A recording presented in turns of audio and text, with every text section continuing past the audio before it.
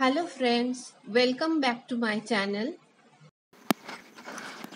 आज हम कैसे घर में हेयर केयर करते हैं, वही आप लोगों के साथ शेयर करेंगे।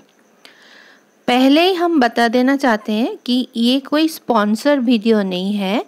मैं जैसे जैसे घर में यूज़ करती हूँ प्रोडक्ट वही आपके साथ शेयर कर रही हूँ। मैं मेरे हेयर कर केयर के लिए मंथ में दो बार आंवला, रीठा शिकाकाई का पाउडर, पानी से घोल के उसका पैक बना के मेरे हेयर पे अप्लाई करती हूँ। मैं मेरे बालों के हिसाब से दो चम्मच आंवला, एक चम्मच सिकाकाई और दो चम्मच रीठा लेती हूँ। आप आपका बालों का हिसाब से ही इसका क्वांटिटी कितना लेंगे, वही लीजिएगा। इसको अच्छा से घोल के, मिक्स करके अच्छा से हमको बाल में और स्काल्प में दोनों में ही लगाना है। थोड़ा थोड़ा करके बाल हटा के पूरा स्काल्प में इसको लगाना है साथ साथ बालों में भी लगाना है। ये जो करोना करोना का जो सिचुएशन अभी चल रहा है, उसके पहले हम मंथली एक बार करके हेयर स्पा तो करते ही थे तो इसमें क्या होता था, हेयर का एक ट्रीटमेंट होता था, क्योंकि जैसे हम लोग खाना खाते हैं ज़िंदा रहने के लिए, बालों के लिए भी खाना बहुत ज़रूरी है।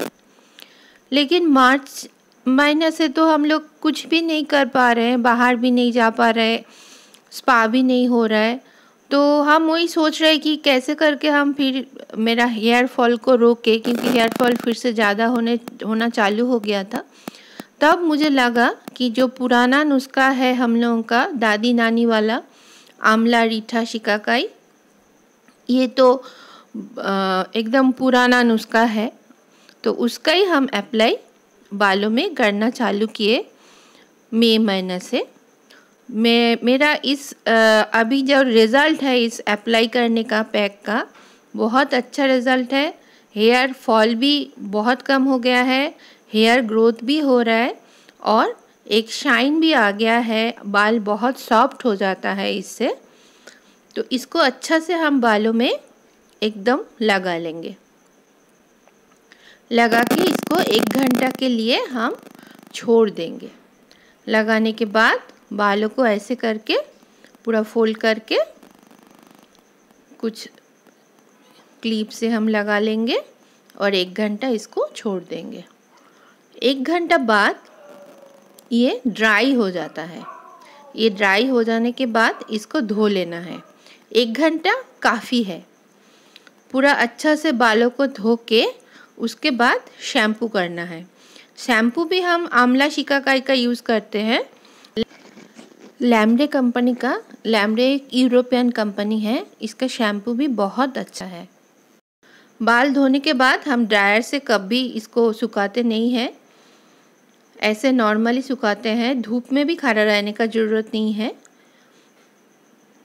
ऐसे ही घर में बाल नॉर्मली सूखता है।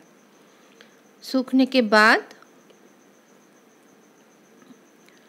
एकदम इसका साइन बहुत ज़्यादा आता है, बहुत सॉफ्ट हो जाता है और बाल का बहुत इम्प्रूवमेंट हुआ है। अगर आप चाहते हो तो ये कर सकते हो घर में और ये वीडियो अगर अच्छा लगा है तो लाइक शेयर कीजिए और मेरे चैनल को सब्सक्राइब कीजिए। Thank you